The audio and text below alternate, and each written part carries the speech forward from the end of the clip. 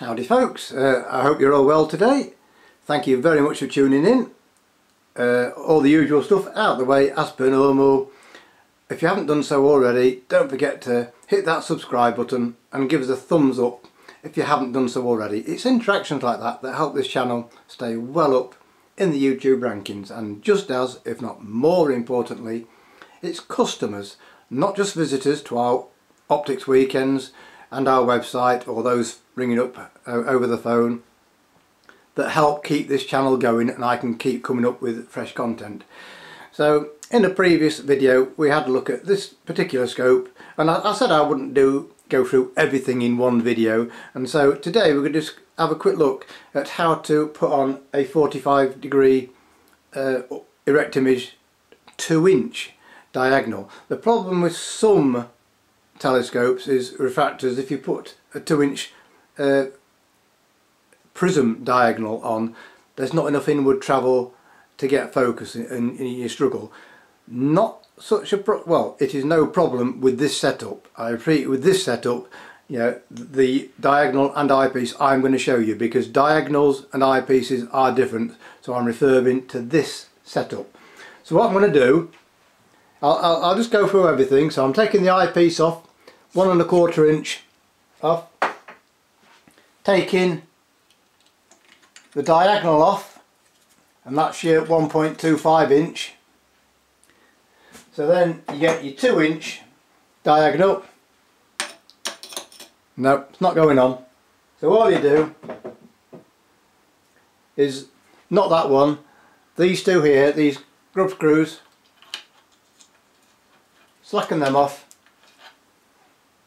and that now means you can put in the 2 inch diagonal.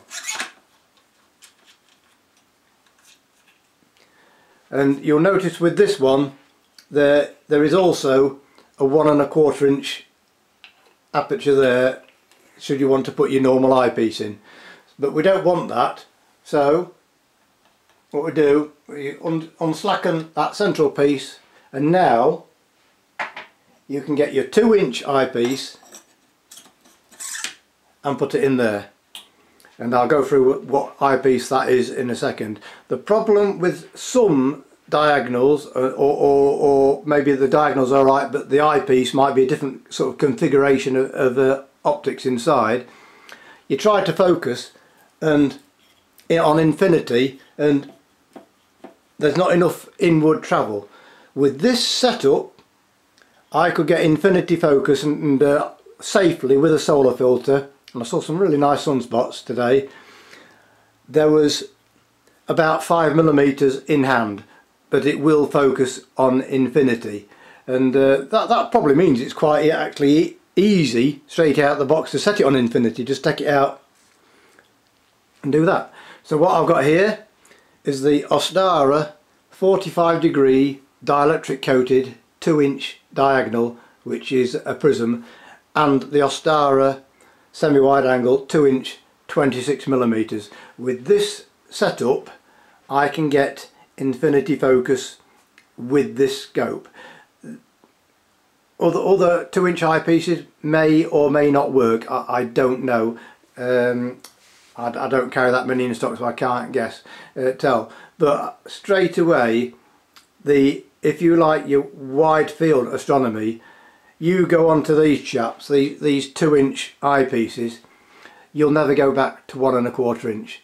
The the, the, the view you get, it, it's, it's picture window, extremely long eye relief.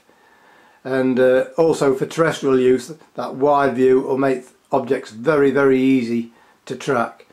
And so yeah that's a, just a quick demonstration on how to put a, a 45 degree uh, prism, I keep having to think there, prism, not mirror, prism diagonal onto the Skywatcher Startravel 102.